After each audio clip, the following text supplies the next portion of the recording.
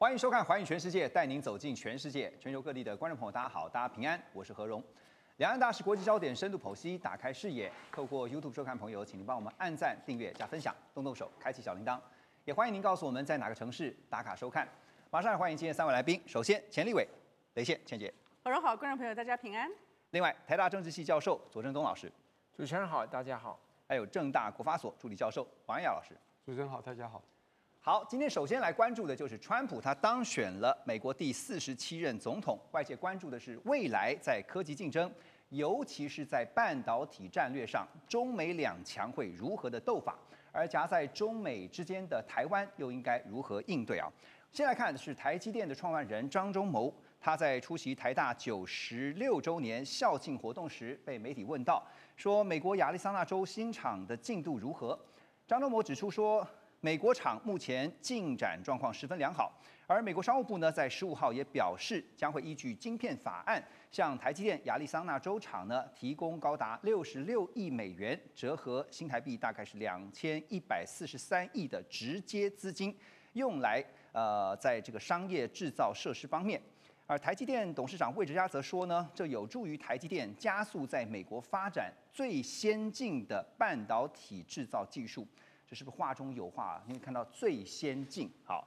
那翻了一下美国商务部的新闻稿，美方是怎么说呢？他们说，台积电亚利桑那州的三座工厂达到最大产能的时候，预计将会生产数千万的尖端晶片，为将来的五 G、六 G 智慧型手机、还有自驾车以及高效能运算，还有包括像 AI 应用来提供动力啊。我们刚刚听到的关键字包括最先进，包括尖端。好，那这是不是意味着原本计划留在台湾？因为大家说高端的晶片技术要留在台湾，会不会有可能移往美国？先请教先姐。呃，如果我们按照川普从拜登以来的一系列的思维，就是芯片呢是国家安全的一部分。嗯，那从这个理路一直走下来的话，那显然的。跟国家安全有关的，包含了国防科技，还有国家竞争力相关的，它就会被放到一个特别的盒子里头。台积电被要求在亚历山大设厂呢，也是如此。是。可是这件事情用政府的力量，或者是政府的部分补助，能不能够达到美国的目的呢？我觉得在这个地方，你就要看说现在全球的半导体的结构。嗯。好，十月二十八号，美国做了最新的一个禁令，就是半导体。还有呃 AI 呢和量子都是不能够投资的，对，金资金不能去呃中国大陆、香港、澳门都不行啊，他们没有算台湾。可是你就明白，他们已经把它当成未来的国家安全跟国家竞争力的一个核心，因为科技战其实就是战争，是是现在正在进行的战争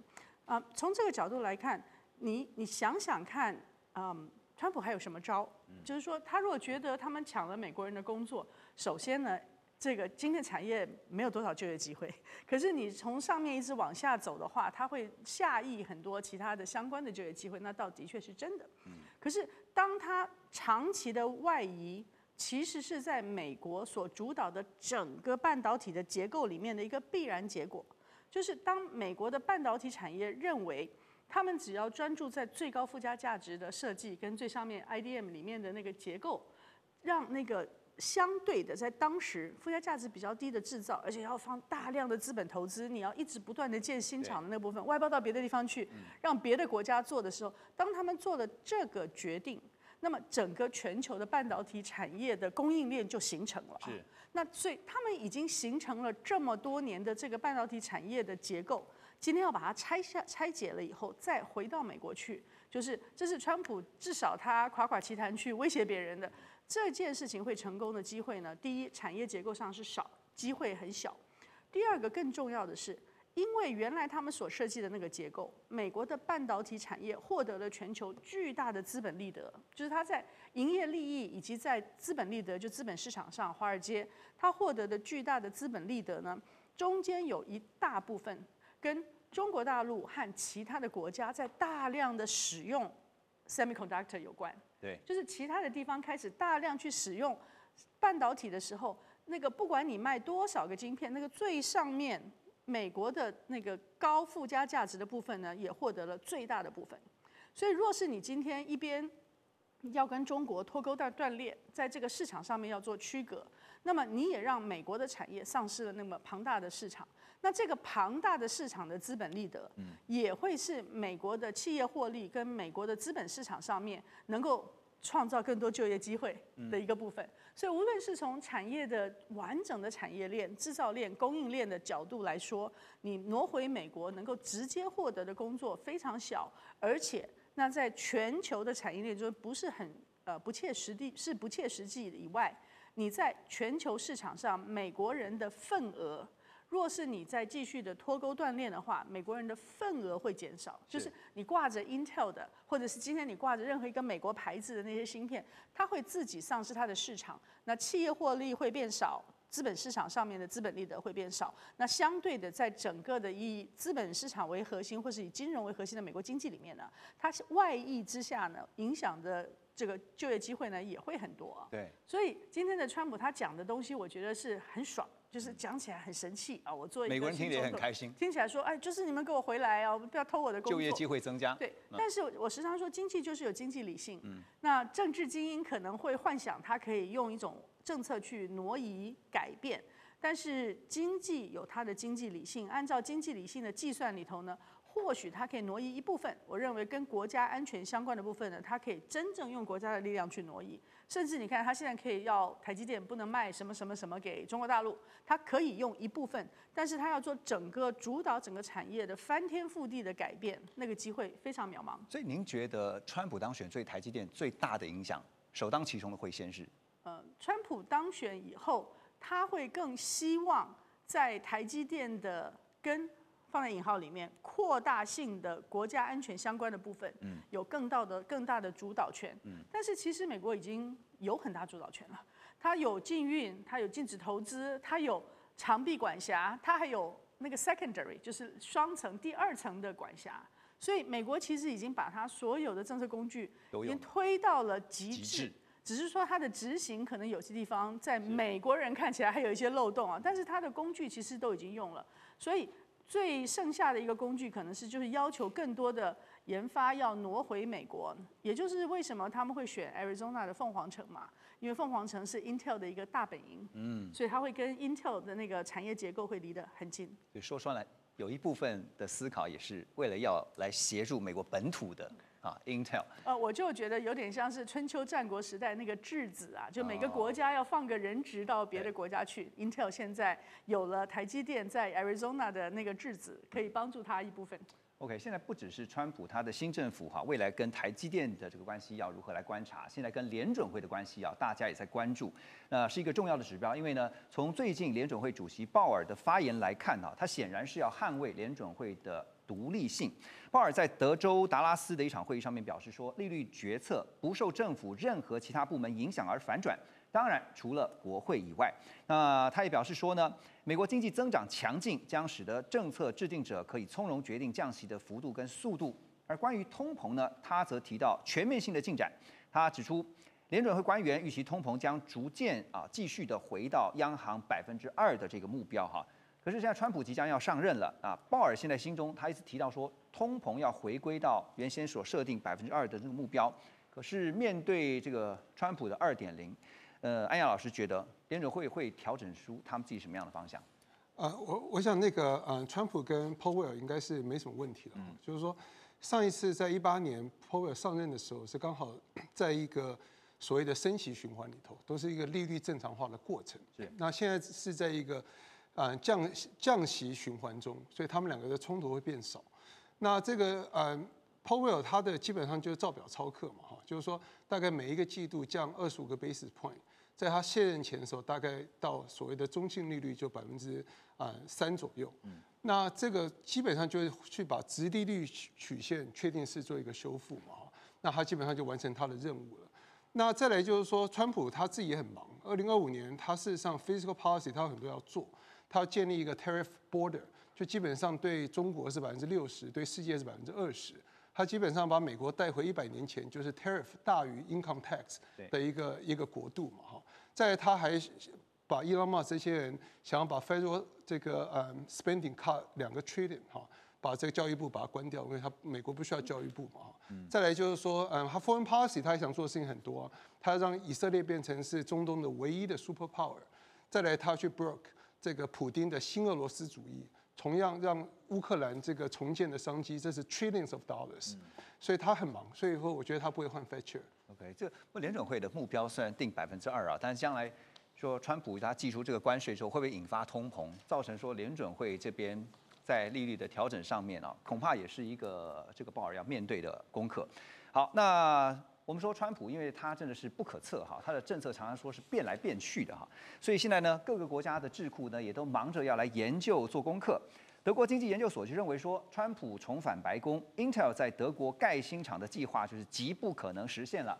呃，德国政府呢应该庆幸还没向 Intel 来支付一百亿欧元，约合台币三千四百多亿的这个补助。那同时呢，这个所长哈他也直言，他说不再期望美国大选后 Intel 会落脚在马格德堡，而贸易关税政策将会造成德国经济的重大影响。作为出口大国的德国呢，将会面临更高的成本与价格，甚至可能会导致企业把生产转移到美国。现在连德国的智库呢，先投下了对川普的不信任票哈。那我想请教周老师，你怎么看？就是如果 Intel 不去德国盖新厂，这对德国的经济真的会造成很大的冲击吗？如何评估？呃，英特尔事实上是在九月的时候就已经宣布了，他们暂停了在德国跟波兰的这个建厂计划。那当然，主要当时是因为英特尔本身它的这个损，它的这个财务财这个账面损失嘛，所以它要先做内部的调整。不过现在川普带来的冲击主要是关税的这个部分，倒不是这个跟英特尔有直接相关哈。那川普因为他在竞选的时候就是说，他可能会对所有对美国有出这个出超盈余的国家都会课百分之十到二十的关税。那有的人说他甚至是所有的国家都会加税啊。那好，假设就是针对德国或针对有出口盈余的国家，那加了百分之十到二十，因为德国从美国赚多少钱呢？它去年来讲，它是六千呃六百三十三亿欧元的贸易顺差，就是只有顺差的部分呢、它整体的贸易量，呃，整体的出口量大概是一千五百七十九亿这个的呃这个欧元。好，那如果加上这个关税，那德国的这个统计，他们现在也是的确就像刚才何荣生所讲的，他做了很多的研究。那他现在是说，如果德如果川普加税百分之二十关税的话，那么德国的出口会减少百分之十五，德国的 GDP 会下降百分之一，因为德国今年是衰退百分之零点一，明年可能会成长百分之零点五，后年可能百分之一。那么如果川普现在他们现在推估，如果川普要加税，可能是明年下半年，所以它的影响会在后年上半年开始感受到，也就是当德国开始复苏的时候，川普又打了一记闷棍下来，所以当然德国是非常紧张哈。现在看主要会影响在哪些部门呢？第一个汽车业，因为德国的汽车就是高级房车出口到美国的非常多，再来就是钢啊、铝啊，还有什么呢？化学呀、制药啊，这些都是德国出口的强项。所以那要怎么办呢？面对这个，其实德国已经是呃美国主要的投资者。德国现在在美国的这个外来投资者里头，它排名第四，但是在新能源它排名第一。啊、所以其实对于新能源这一块或者是新兴技术来讲，德国的投资在美国本来就不少，而且去年还是成长的非常多，啊，去年成长非常多。所以那德国有什么可以跟川普谈的？现在大家就是说，如果川普这个关税要降不要加不加，大家不知道是会如何的时候，对经济的伤害是最大。因为一旦你确定了，大家就可以去计算。最怕就是不确定。最怕是不确定，对啊所以最有可能就是双方谈一个 deal，谈一个这个交易，然后德国呢就跟美国买商品，对，农产品、武器、天然气，大概现在列的这三项最有可能欧洲跟美国买的商品。那路透社最近也引述了这个知情人士的消息指出，因为刚刚左老师有讲到电动车这个部分，川普的过渡团队他们最近正在计划要终结拜登政府的电动车购车税收抵免。那主要的策划者呢，就是石油大亨韩姆，还有北达科达州的州长伯根啊，他们共同领导的这个能源政策过渡团队。从川普胜选以后呢，他们就密集啊见了好几次的面，主要呢就是针对的这个拜登政府在二零二二年推出这个降低通膨法案当中呢，对于电动车购车享有七千五百美元啊、大概是新台币二十四万的税收抵免啊，说要把这个税收抵免给废了啊。那这样子大家联想到是，哎，可是现在这个马斯克不是当红吗？还是成成为这个政府效率部门的共同负责人呢？这样的话，会对特斯拉会不会先造成伤害？倩姐怎么看？嗯，我先说，呃，当有抵免的时候，嗯，但是特斯拉还是普普通通的表现啊。所以原来的 Magnificent Seven 里头呢，特斯拉是最最后一名，嗯，而且它本来是最可能被除名的，所以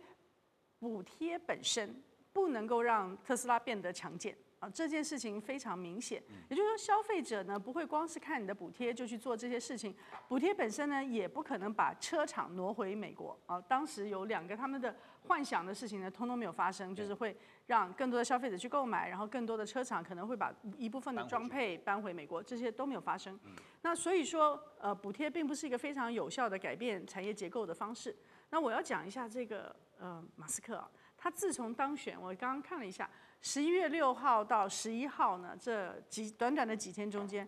他的特斯拉的股价涨了百分之二十一，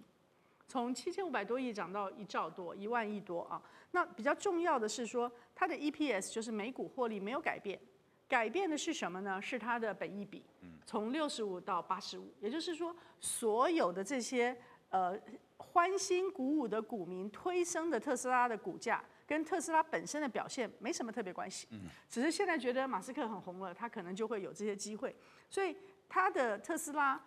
呃，已经是一个获利者啊，他在目前已经是八十五本一比了，从六十五一下就跳到八十五，已经涨了百分之二十一，那现在是在高档盘旋。除此之外，他所投资的这个加密货币、虚拟货币。他所投资的太空星空呢，也都会以同样同样的水涨船高，还有 X 啊，所以说你可以看到，我时常说，以前我们说叫做 military industrial complex，就是军工混合体，跟政治的关系很密切。但是这一次的选举中间，关系最密切的是金科混合体，金融跟科技的大亨，他们进入了美国政治的直接参与。对，那过去的话，无论是像洛克菲勒基金啊这些，他们都是用。PAC 或 Super PAC 的方式呢，间接的去影响某些的候选人，去影响政策。可是这一次，你可以看到，马斯克的 America PAC 是外挂的哦。所以有人会说，哎，为什么？对，为什么雷老师写的那个一百五十九亿的那个竞选经费里面没有马斯克呢？因为他没有按照过去的游戏规则，对，把钱去投，就是投在呃，无论是个个别候选人或者是政党上面，他就外挂了一个 Super PAC，他爱怎么样去花钱就怎么花钱，所以他们直接的就影响了美国的选举以外，在选后你更可以看到呢，仿佛有一个川川普跟马克思的川马混合体。啊，他们两个共同来研商世界的大事，包含了俄乌的情况啦，将来的政府的效能啊，还有在当选的当天晚上，那个川普他就直接说，我们这些外太空的这些东西呢，我觉得 Space X 真的很厉害，他就讲了大概四十几分钟这件事情。他不说要珍惜天才嘛？哦，所以他说这个是中国还做不到的，只有我们能做得到。所以你可以看到，美国政府很多那种前端前沿的科技，将来也很可能外包给一个呃。私人的企业，所以政府跟跟金融跟科技的关系，在这次选举中间完全改变。那除了马斯克以外，还有 Vivek 啊，那个在大家眼睛一亮，在纽约的最后一场大造势的时候，大家说：“哎，哪里来一个这么厉害的一个印度裔的科技专家？”可是他现在也直接进去了政府效能效能部。所以这些科技的大头，他们也夹着金融的实力。并且他们自己直接投入政治，然后现在呢又经由了选上的呃川普去影响到美国的走向，而且我认为有些东西是不在美国现在的制衡体制之内的。譬如说，我现在新做了一个政府效能部，它是要跟别人如何的去制衡，国会怎么样跟他去产生新的关系，他若大刀阔斧的去改变了所谓当时川普说这就是深层政府需要改变，啊，如果他大刀阔斧阔斧的去改变了美国的官僚体制的话，那么不但是行政体系跟司法体系中间可能都没有真正制衡的工具，所以我们看到的真的是一个非常庞大的金科混合体正在快速的进入政治。所以马斯克呢，就是说他无论如何都已经是赢家了。现在这样子说，呃，冲撞体制造成的这个后续效应啊，到底能不能够收拾得了？可能也要的关注。没有，他没有冲撞体制，他是进入体制。这进入体，制但是他要把原先的那种体制他总当他进入了体体制以后，他能够使用的工具就非常多。我们在台湾对于政治上面，一假一旦进入了体制，可以做各种的作为的呃政治政策。非常有经验，那一般的小老百姓根本完全无力招架。的确，这个我们等下就要来聊哈，马斯克会不会权力扩张到一个无法想象的地步哈？不过说到他的特斯拉啊，因为他的这个相关供应链群组，其中有蛮多是台厂的啊，像是 AES 四伏器电池备源电力模组，还有像是电池制造跟电池模组，其他包括像是汽车零组件呐、充电基础设施、自动驾驶技术、能源储存解决方案等等哈，很多的台厂都参与其中。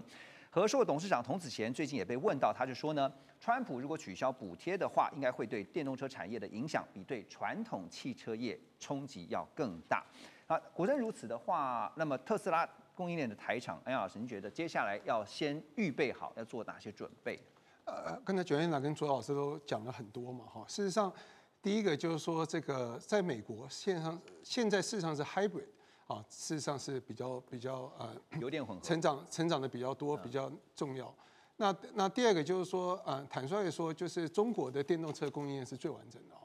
那那个呃，比亚迪成本是比特斯拉要要低的非常多，所以美国用关税把把中国挡在外头，所以中国也不会进入到美国市场里头。那当然就是说，呃，台湾基本上搭了这所谓的民主供应链，然后进到呃美国。那这些公司将来就必须要更美国化。那比方说，要不然在 Fremont 就就是呃窝在特斯拉旁边，要不然就要跟到这密西密 Michigan 在摇摆州里面帮忙去重建 Detroit。那所以基本上这个就有点像是这个嗯，当年台湾员工分红费用化，台积电是举手赞成的，因为他早就拿到所有员工分红化的红利，以后的新创公司都拿不到了。所以就像熊来了，你要跑得比别人快就来得好。嗯哼。好，这个马斯克确实啊，这个大家最近关注他很多哈，因为他刚刚像我们讲的，他要共同来掌管这个政府效率部，而且他这个缩写 D O G E 啊，大家也就开他玩笑说，跟他那个狗狗币哈，这蛮接近的哈。可是他的权力会不会无限制的扩张哈？他到底进来以后，进来体制？它究竟是提高了政府的效能，还是说它打压了其他科技业的效率？因为先前他发过推文啊，就引起了科技业极大的反弹。他说他不了解自己捐赠了一亿美元的非盈利组织是如何变成了三百亿美元估值的盈利组织的。那他指控的就是当初他出钱投资的 Open AI。因为他认为呢，Open AI 就是为了要完成造福人类的目标。可是后来呢，Open AI 不止没有公开 GPT-4 的技术细节，而且还授权给了微软。好，所以话回到我们刚刚讲，就说，呃，马斯克现在他将来进到政府体制，他有非常大的权利。左老师，您觉得大家会质疑的是，他用政治力的手段去对付，万一是未来的或者是现在的商业竞争对手的话？因此引人非议哈。那这个例子如果一开的话，对于美国科技业会造成什么影响？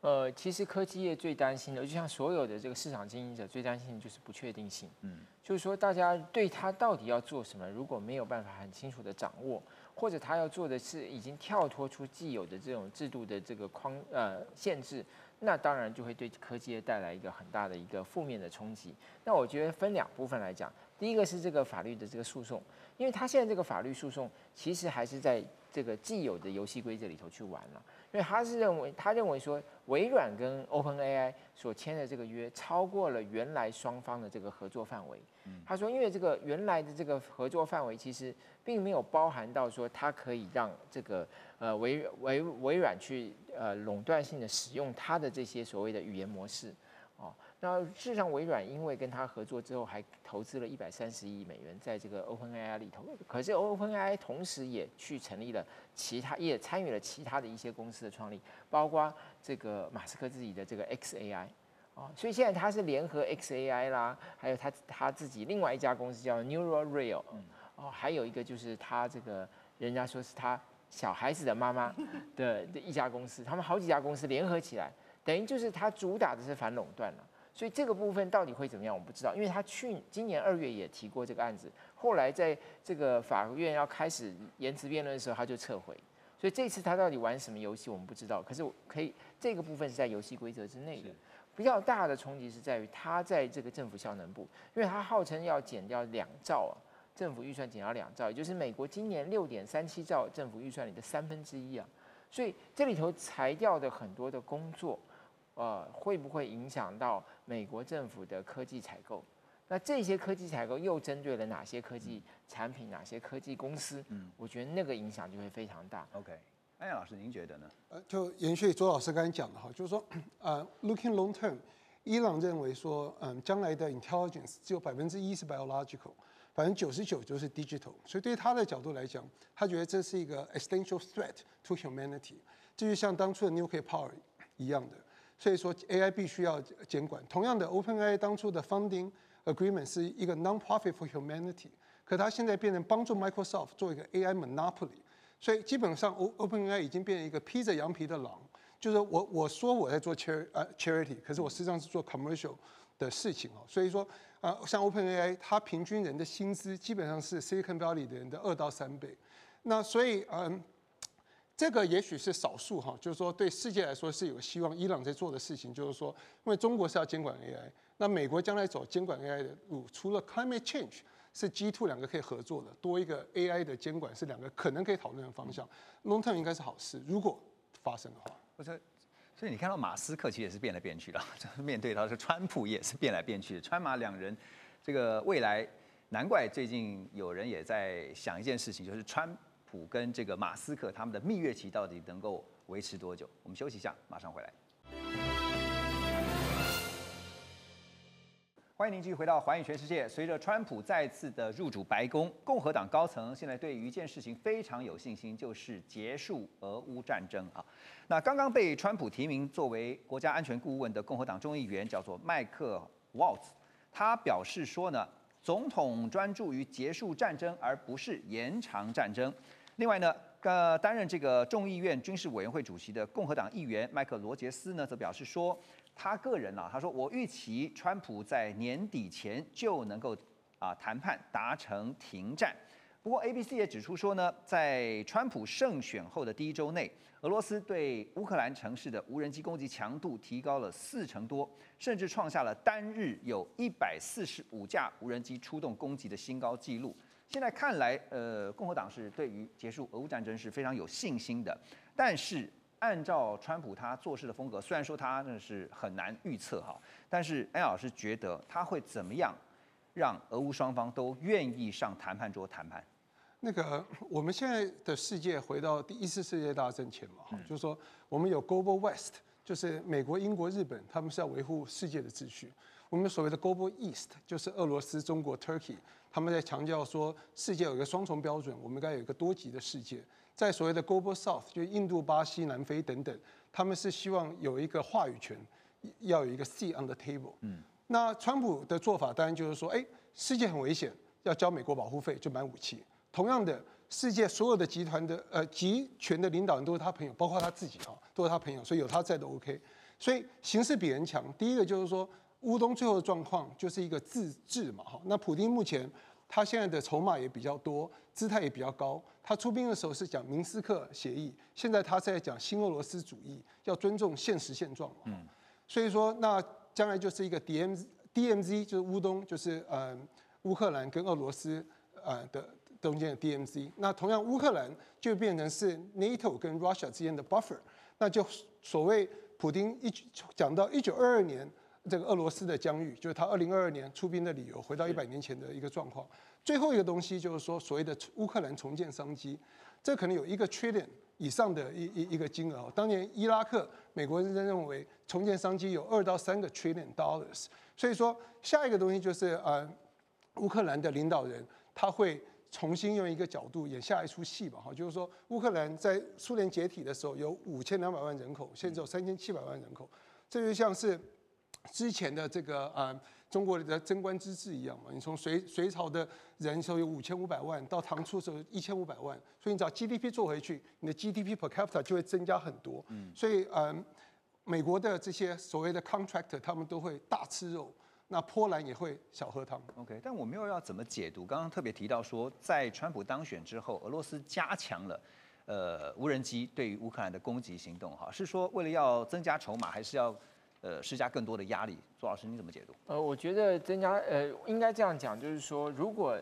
和和谈真的快要来临，双方可能都要在此之前扩大他的占领区，或者减少他的失土。啊，来作为他一个和谈的基础。嗯，我觉得这是第一个。第二个，我们也注意到，俄罗斯目前有两个两个有一个动作，就是说，呃，他最近在制造很多的这种诱饵无人机，因为他希望用这些无人机去瘫痪乌克兰的防空系统。所以，这是不是它的一个成果的展现？就是用很多的诱饵无人机让乌克兰的这个系统被瘫痪。当然，它也的确加强了它地面的攻势。啊，在俄在这个乌克兰的东北部，所以我觉得诱饵也好，或者这个陆地面攻击也是这一波攻击的一个呃两个两个特征了。第三个，我觉得可以注意到，就是说乌克兰同时也在加强对俄罗斯的这个无人机的攻击，所以双方面是同步的啊，包括在这个呃俄罗斯的这个边疆地区，就是在这个呃乔治亚跟乌克兰中间这一块索契这个地方，呃乌克兰也加强攻击了。嗯，所以我觉得双方都在同时动作。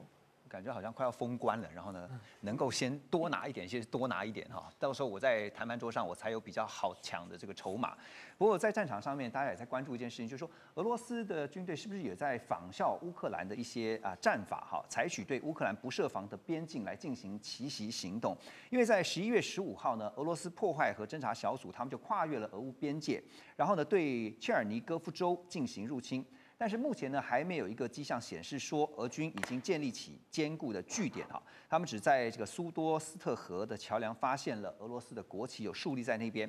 俄罗斯方面是声称说，侦察小队他们已经占领了赫雷米亚赫、还有科洛斯以及呢穆拉维哈，还有是包括说这个诺维塞利迪夫卡这几个地方。可是乌克兰国家边境局则是由他们发言人就表示说呢，俄罗斯军队只是短暂进入切尔尼科夫。这个这这个地方，然后插上了俄罗斯国旗，然后他们就撤退了。啊，俄罗斯声称占领定居点的说法，这是错误的，现在是认知作战吧？哈，希望大家不要被这个宣传给误解了哈。所以怎么看这个奇袭行动是仿效，还是说俄俄军在测试什么？倩姐怎么解读？呃，所有的战争最后一定有一个终战指导，就是什么时候他打完了开始谈判。好，所以说现在我们还没有到那一刻。可以看出来，最近俄国的行为，我来看他的话，就是他在轴线翻转。嗯，现在呃，从二零二二年呢，一开头他在基辅附近已经有一小部分的军事行动，可是后来他回到了他从呃从东到西的这一条轴线，是就东西，然后东南的这个轴线是东西的轴线。那如果现在进入切尔尼戈夫，包含了俄罗斯跟白俄罗斯呢，就是。这个南北的一条轴线，从北往南，嗯然后离基辅非常非常的近。那对于基辅来说呢，当这条轴线翻转到了北南的时候，对于基辅的压力是非常大的，因为它离边界非常的近，无险可守。那么会不会是用这个来逼一个中战指导，就是打到这里，我们不要再打了？呃，如果说将来无论如何会是有了一个 DMZ，就是非军事区，或者是用实控线呢来做一些划分的话。那一定要有一刻说，有一边说好，我认输了，我现在就是要从这里开始谈判。所以现在应该是在最后快马加鞭的要进入一个中战指导的一个局势。那这个局势里面，我看起来最明显的就是北往南。那北往南的这条轴线呢，有两个重点，一个是基辅，另外一个就是第聂伯河，从北贯穿着整个的乌克兰的南北的分界线，天然。就好像当年日本人攻击我们的时候呢，长江也是一个天堑是一样的啊。那这个南北的这个第聂伯河呢，从北一路到了克里米亚，克里米亚。所以现在无论讨论的克里米亚附近的像赫尔松啊什么，按照这个北边到南的轴线，如果被控制的时候，那么对于俄国来讲，他在谈判的桌上能够有的筹码就更多了。所以他就是战略目标，俄军现在希望就是施加更大的压力给乌克兰。然后呢，让泽伦斯基呢就进退维谷哈。那其实最担心现在应该是泽伦斯基啊，因为你可以发现好像风向变了，或是一些苗头不对了啊。因为呢，现在不只是川普哈，他当然这个我们都知道，他选前就讲了，他说如果他当选的话，他上任前他就要解决俄乌问题，而且他信誓旦旦的。但我们都知道说他可能是有时候会 bluff，可是呢，不管如何，他也做了该做的一些事情啊。可是现在除了川普以外，难道德国？也开始要跟进嘛？好，因为德国总理肖兹在十一月十五号，他是先后分别跟乌克兰的总统泽连斯基，还有俄罗斯的总统普京两个人的都进行了对话。肖兹呃，他是呼吁普京撤军，结束俄乌战争啊，俄罗斯呢必须要愿意跟乌克兰谈判。不过泽伦斯基听到之后，他就批评，他就批评说什么呢？他说肖兹跟普丁通话破坏了孤立普丁的努力，这样的话会打开潘朵拉的盒子哈。现在我们先揣想一下，周老师，泽伦斯基他现在的处境，我能想象的就是他最怕的就是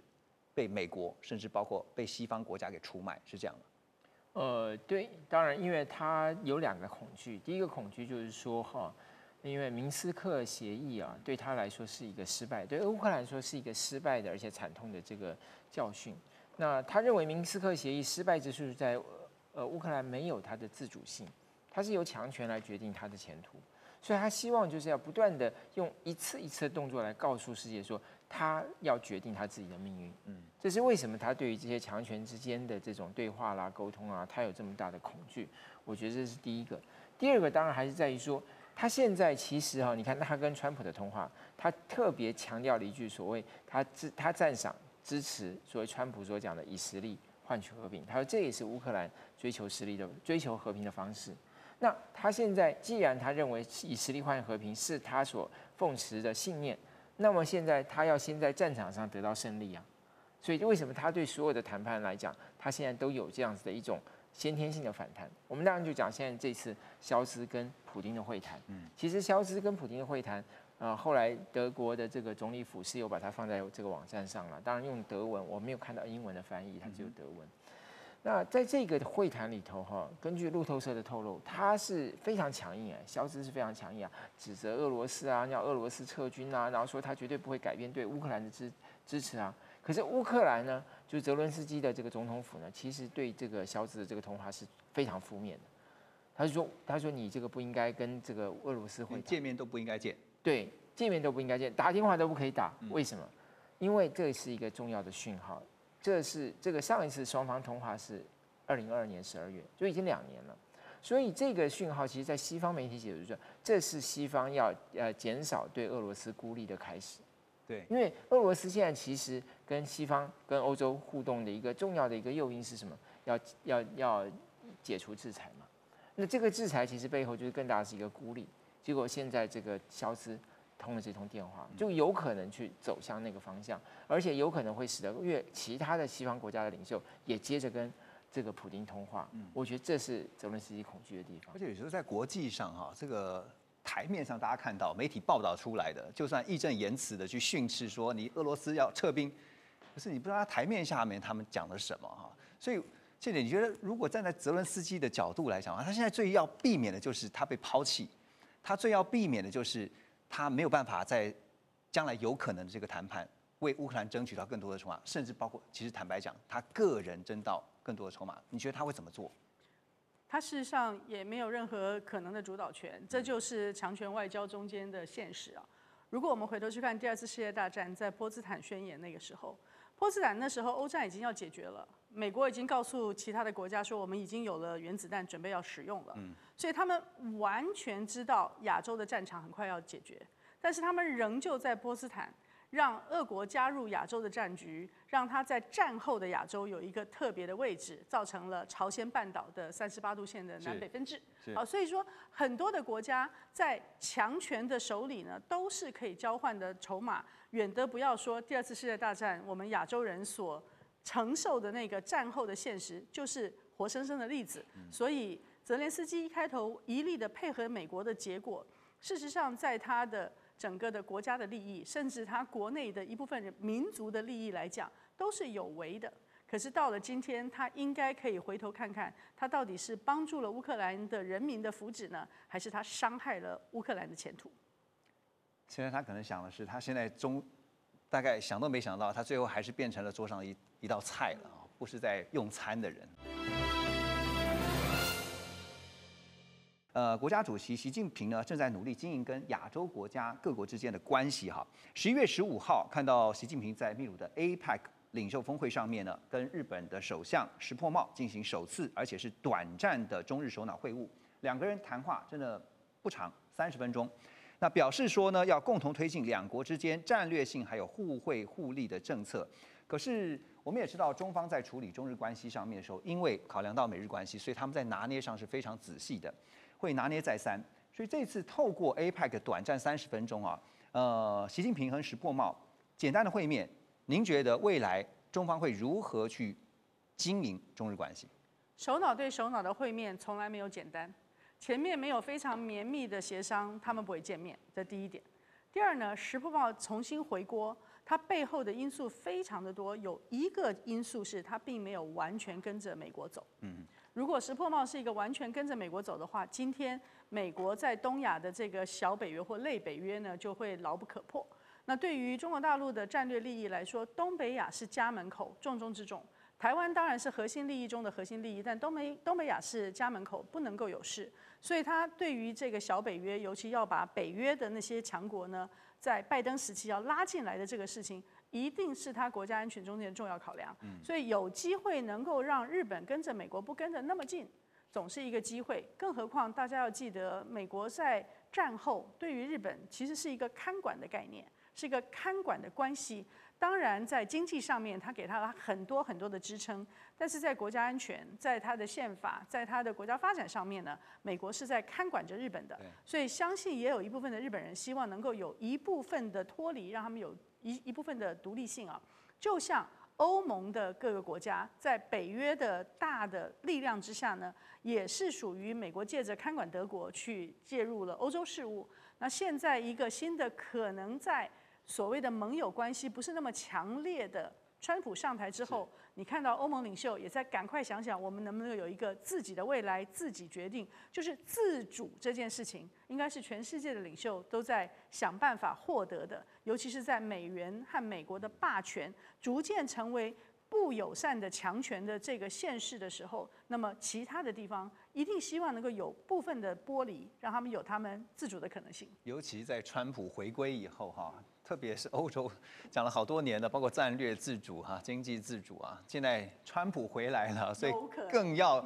加强自己的自主性啊。OK，呃，当然这次除了跟石破茂会面哈，也看到习近平同一天见了新加坡的总理黄循财，双方都表示呢愿意加强在联合国还有 APEC 这些多边的组织舞台上面合作，那共同宣导平等有序的世界多极化以及普惠包容的经济全球化。黄群才也表示反对任何形式的台湾独立，坚定恪守一个中国原则。那之后呢，习近平也见了韩国总统尹锡悦哈，在这个呃，习近平在处理啊，就是说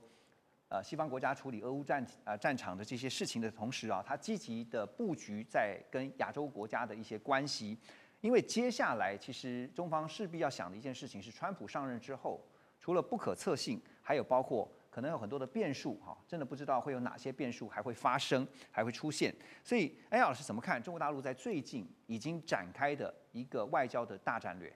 那陈刚九安拿提到，就是说，川普将来东亚北约化，让大家的这个军事的支出都要增加，买武器保护买武器收保护费，做黑帮老大乔氏的这个状态下，那中国在发现你旁边都慢慢芬兰化以后。它原本上就是一个朝贡体系的概念，看看亚洲，所以说它更应该把以前的远交近攻丢掉，来做所谓敦亲睦邻的事情啊。那尤其是它现在内政问题是它它的主要的问题，所以外交上它不能再失分，它必须要不叫行这些所谓的笼络也好，来做更多的事情。它事实上更该做的事情就是应该发展联航，广发消费券，把外国人拉到中国人消费，因为将来在在一个关税壁垒的状况下。中国商品更难卖出去，他应该要把人拉到中国消费，所以他要做的事情还更多。嗯，这次在 APEC 其实也看到习近平见了即将要卸任的这个拜登，啊，大家的这个解读不同哈，但我觉得其实基本上算是很厚道了，因为至少你虽然说这个拜登他即将要卸任，可是呢，呃，也许就没有权利了，但是起码中方还是基于礼貌尊重这位即将卸任的元首。不过即将上来的川普哈，我最后想问大家一个问题，就是大家对于他之前退群这种行为是印象非常深刻的，所以我想请教三位老师啊，我先请教左老师啊，您觉得有没有可能在他回归之后，他真的哪一天突然就说我要先退群，但是先退的会是哪一个群？因为他其实之前也点到了像 WTO，那您觉得呢？呃，好，川普最重要的一个特质就是永远不可测。所以只有川普了解川普，但我认为从他现在的言辞看起来，第一个可能退的还是巴黎协定，啊，因为这个其实对美国来讲，它的经济影响是大的。嗯，那为什么我说 WTO 是比较比较不会排在前面呢？因为美国到连拜登政府都没有任命他的这个上诉上 WTO 仲裁机构的这个上诉呃法官嘛，是所以说这个 WTO 是一个跛脚的这个 WTO，那因此对他来讲不是一个立即急迫要处理的一个议题啊。那他有可能退出联合国吗？他有可能退出世界卫生组织吗？我觉得川普没有什么不可能，但是呢。没有像这个呃所谓气候，就巴黎气候协定这样子的紧迫，因为这牵涉到美国的这个减碳的责任，这牵涉到美国要怎么样调整它的这个所谓的呃化石燃料的这个产业，也包括汽车，未来这个新能源汽车要占比要多少？我觉得这些对川普来说是很核心的问题。嗯，因为川普之前就讲过，气候变迁是个假议题哈，这 确实啊，因为呃最近马上就要召开的 COP。也在想，这个川普万一卷土重来以后，对于这个气候变迁，万一美国未来的参与不像以往，该怎么办？好，那同样的，安雅老师，您觉得呢？如果讲到退群的话，就川普会先选择哪几个？就延续刚才卓老师讲的哈，就是说，美国在二次世界大战之后啊，United Nations 是避免再有一次世世界大战。嗯，那 WTO 的功能是让美国的商品可以卖到全世界去哈。那本来民主党跟共和党就是从这个所谓的 ideology 到一个这个现实主义、理想主义、现实主义在做一个摇摆。那川普的思路就是一百年前 William McKinley 的思路，就是说它是一个美国霸权的概念哈，就是说以后再想美国就很简单，就是你要美国这个市场，你就要付通路费，就是 tariff。同样的，就是说要不然你就把钱搬到美国去去做制造跟生产。所以，川普的第二任会跟第一任不一样。第一任是用一些 new 呃呃 conservatism 的的一些人哦，现在他走所谓的 new isolationists，好，这是一个新的状况。那川普很多他的 economic 跟 political policy 是一个新的一个试验。那那我们全部人都在这个试验之中。对，倩姐觉得。回答啊第一个，我同意左老师，那个 COP 它是非退群不可了，因为它要发展美国国内的页油盐工业啊，这个自自己的跟新能源无关的能源产业啊，所以说这个它是要退群的。那另外两个呢，它可以不用退群，可是它可以去改变它的影响力。一个呢，当然就是 WHO，因为 WHO 原来是要降低所有的关税壁垒，可是它现在要恢复关税壁垒，它必须要改变 WHO 的游戏规则啊。那么当然要看他有没有实力去改变游戏规则了，因为现在多边主义已经不完全是他们说了算。第三个会改的呢，我认为啊，哦，对不起，刚刚讲的是 WTO，刚刚写错啊。第二个是 WTO，第三个我认为会改的应该是 WHO 的一部分，因为从他用了这个 RFK Junior 去。去主导关于疫苗啦相关的这一类东西，你要记得上一次二零二零年川普最后失败是因为 COVID 的失败，嗯，所以说关于现在那种很多对于疫苗大厂美国药厂的大反弹，都是在川普来说说看吧，我就是对的啦，当时我没有做就是因为如此如此，所以对于 WHO 来说，他可能会去加更大的压力，去改变某些 WHO 的现在的做法，所以三个，一个是气候变迁。一个是 WTO 的游戏规则，第三个就是 WHO 的方向。谢谢，我追问您一个问题哈，因为我觉得川普这个人很奇特啊，大家也都觉得他很特别，但他因为他之前有了一次执政的经验，嗯，那接下来他第二任啊，我们讲说川普二点零啊，大家想说会不会有什么不一样？呃，一样的可能就是他不断强调说，他认为关税真是一个好工具哈，他所以他要寄出所有的关税，当然这个也会有相关的一些影响。您觉得他的第二任跟第一任？如果我们先预测一下的话，他的第二任他的变或不变会是什么？川普第二任很明显的，他现在是一个很娴熟的 CEO，准备了四年，人选都准备而且他学过了一些教训，快速的就完全的掌控了联邦政府，在一个大总统制的国家中间，他会做非常多的改变啊。但是经济上面呢，像他二零一七年的减税啊，这些减富人税对他是不会变的。可是，在政治上面还有另外一系列的东西，大家觉得好像很笨。为什么去增加关税？经济学家都说没有用。其实他很聪明，增加的关税是增加了政府的税收，所增加的输入性的通膨，譬如说物价飞涨呢，是小老百姓的承担。所以还是政府的税收增加了，可是分摊在老百姓的身上。那么在整个的经济政策上面，还是对于富人企业的减税，所以美国人现在是所得税的承担是他的政府税入中间最大的一个部分。因此，他第二任如果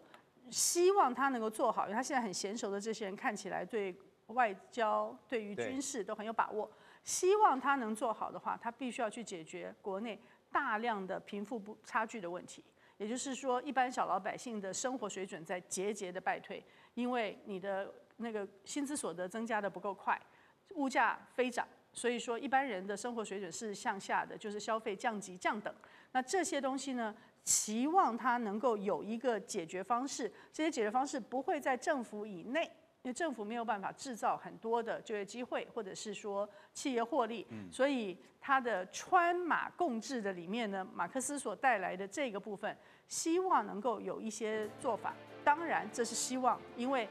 传统上他上一次在做的时候，把这个事情并没有解决，但是拜登时期呢是在迅速的恶化中，所以希望还是能够有一些。平衡，因为我是看了一些选后的分析啊，就这次呃民主党败得这么惨，最主要的两个原因，一个是经济，一个是移民，这都是川普在选前是不断强打的，所以大家也在想说，好，那你终于可以当总统了，你应该可以解决这个问题，这两个您觉得他解决得了？呃，移民的问题他已经说要解决了，他要解决非法移民，对，让合法移民呢有更好的生命机会。